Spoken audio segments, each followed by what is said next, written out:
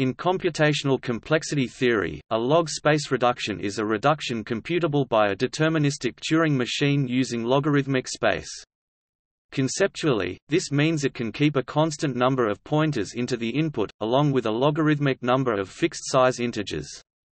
It is possible that such a machine may not have space to write down its own output, so the only requirement is that any given bit of the output be computable in log space.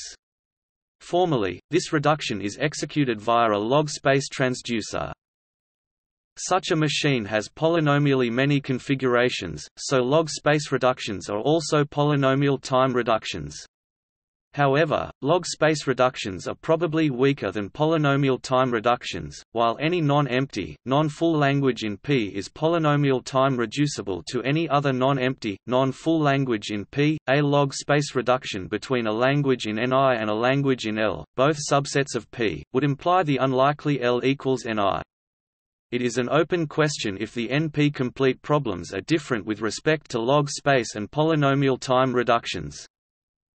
Log space reductions are normally used on languages in P, in which case it usually does not matter whether many one reductions or Turing reductions are used, since it has been verified that L, SL, NL, and P are all closed under Turing reductions, meaning that Turing reductions can be used to show a problem is in any of these classes.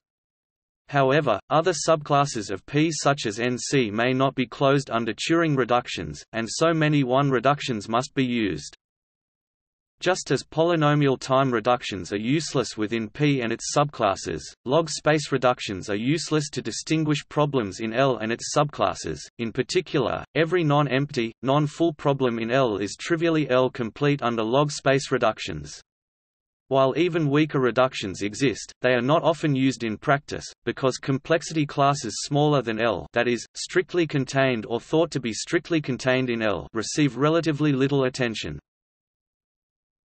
The tools available to designers of log space reductions have been greatly expanded by the result that L equals SL, see SL for a list of some SL complete problems that can now be used as subroutines in log space reductions. Notes